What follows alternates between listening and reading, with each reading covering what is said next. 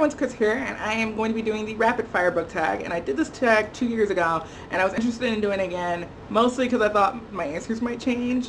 I feel like some of them definitely have changed, and because I just feel like I'm such a different person than I was two years ago. A lot has happened in life, and like, as a reader, as a writer, as a person, I'm just very different. So I figured I'd re re revisit some tags that I enjoyed doing in the past, um, and we're going to do this and I'm going to see if I actually do it faster because I feel like I took forever to do this tag last time. Um, so I haven't re-looked at the questions and I'm about to do that now and we're just going to zoom right through it. There will be a queer song of the day at the end. I'm going to try to make it related to fire somehow. We'll see which one I end up actually picking. Oh yeah I have one. Perfect. Okay I do. There will be a queer song of the day at the end which I'm just going to be like boom we're just going to go right into it. So let's get started ebook or physical book, I'm going with ebook because I can read my Kindle, which I use. I use my phone. I use my phone. I have a Kindle somewhere that somewhere in this apartment. I used to use my phone, and I can read it at night, and I read at night a lot um, when my boyfriend's asleep and the lights need to be off. So we're gonna go with ebook. Um, paperback or hardback? I'm actually going to say paperback. Don't really know why. I'm just saying paperback. Um, online or in-store book shopping, I'm going to say online. I order a lot of my books online, mostly for the Amazon Prime prices when I use Amazon, um, other deals you can find online. But I also really enjoy an in-store book shopping experience. I don't do it very often, like very few times a year, but I definitely want to um, visit some bookstores more trilogies or series. I'm going to go with series. I have now finished more trilogies than the last time I answered this, I'm pretty sure, but I'm still going to go with series. Heroes or villains? Why not both? I'm just kidding. Um, I'm going to go with villains. I love a good villain. I, I just, I'm just a big fan of villains and stories and their and their stories and the way they're told. So. Uh, a book you want everyone to read.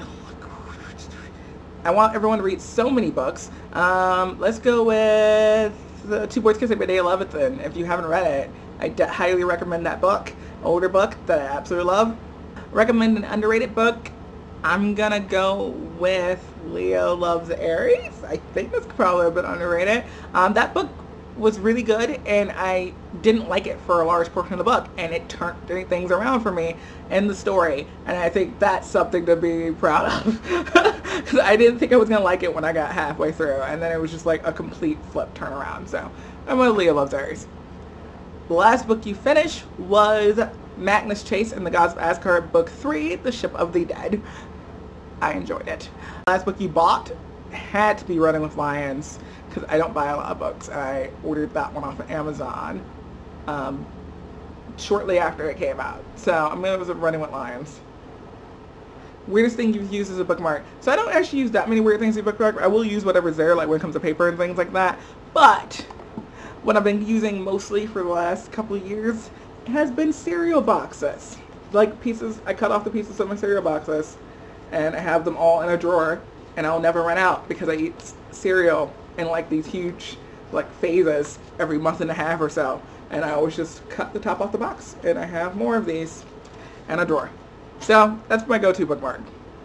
Used book, yes or no? Yes, absolutely. I buy a lot of my books used online. Top three favorite genres? Queer fiction, in general borrow or buy, prefer to borrow. I borrow a lot of books from the library, even though I'm, I'm, trying to cut my library stack down. I currently have 20 books out from my library, and I'm trying to cut that down to having like 10 out at a time because I'm a mess. Characters or plot, we are going to go with characters because a good character can drive me through a story that doesn't have the greatest plot. Longer short books, doesn't really matter. Um, let's just go with short. Longer short chapters, definitely doesn't matter. I, but I'm thinking of fanfiction now, and I like long chapter fanfiction, but that's like a totally different scenario. With books, it doesn't really matter. I'll take either. Name the first three books you think of. Um, Magnus Chasing the of Asgard, Book 3, Ship of the Dead, Running with Lions, and I can't think of a third book, Last Seen Leaving by Caleb Roehrig. Alright, there we go. That's three. Um, also, all of those are queer. Were all those queer? Yes, they are. Okay. Books that make you laugh or cry. If a book can make me laugh, I'm going with that one because we can get a genuine laugh out of me and it has some really good humor throughout. That's just a great thing. The that's like a great additional thing to the plot and the characters of a book can like get a laugh out of me. Um, so I'm gonna go with that.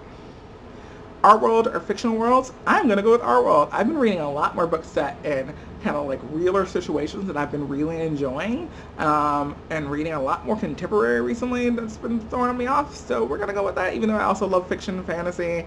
Um, Chase is very obviously fantasy and like all those books, but like I'm going to right now. Um, audiobooks, yes or no? Yes. I read Magnus Chase on audiobook actually. um, audiobooks, yes or no? Yes. Um, I would not get through so many books if it wasn't for audiobooks. Um, I listened to Magnus Chase on audiobook. I'm currently listening to Chainbreaker on audiobook. Um, and I've had that book over there forever, but I picked it up. So audiobooks are a win for me. Do you ever judge a book by its cover? No, and probably that's probably just because I don't buy a lot of books in general, so I definitely don't have cover buys or anything like that. Book to movie or book to TV? I'm thinking this is a weird question. Book to TV? Book to TV because you can spend more on a book in a television show, especially if it's a series. Um, you have time to go through and like hit all these different elements. I really like the Runaways adaptation, even though I know a lot of people don't, like the Runaways adaptation. Um, and I think the reason why I like it's because because of the TV series, they can expand it. They can plan to expand it over several several seasons if it goes well. And so that while they changed a lot of things, they're able to layer in this in things in a way that make it work for TV that wouldn't necessarily if you just took it directly from the page. And I love TV shows. I love watching TV. It's great. Um, so I'm gonna go with TV. Books to TV. That was a whole long explanation that was unnecessary, but books to TV. All right, a movie or TV show you prefer to its book do I have one of those? I'm pretty sure I must have answered something when I did this last time.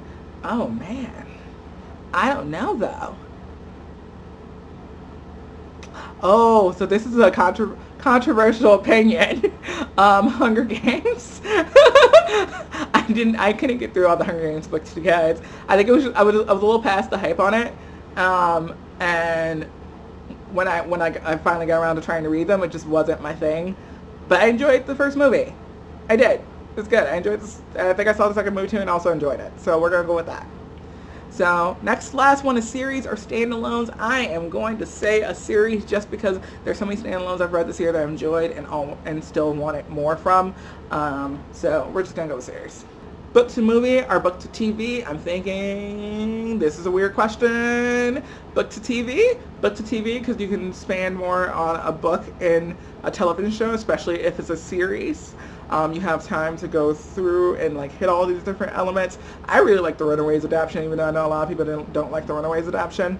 Um, and I think the reason why I like it's because because of the TV series, they can expand it. They can plan to expand it over several several seasons if it goes well. And so that while they changed a lot of things, they're able to layer in this in things in a way that make it work for TV that wouldn't necessarily if you just took it directly from the page. And I love TV shows. I love watching TV. It's great. Um, so I'm going with TV. Books to TV. That was a whole long explanation that was unnecessary, but books to TV. All right, a movie or TV show you prefer to its book do I have one of those? I'm pretty sure I must have answered something when I did this last time. Oh man. I don't know though.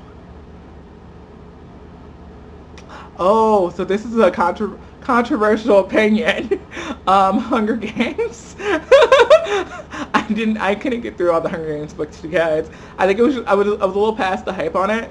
Um, and when I when I, I finally got around to trying to read them, it just wasn't my thing. But I enjoyed the first movie. I did. It's good. I enjoyed this. I think I saw the second movie too and also enjoyed it. So we're going to go with that. So next last one is series or standalones. I am going to say a series just because there's so many standalones I've read this year that I've enjoyed and all, and still want it more from. Um, so we're just going to go with series. Alright, that's it for the video. I hope you guys enjoyed it and enjoy this queer song of the day.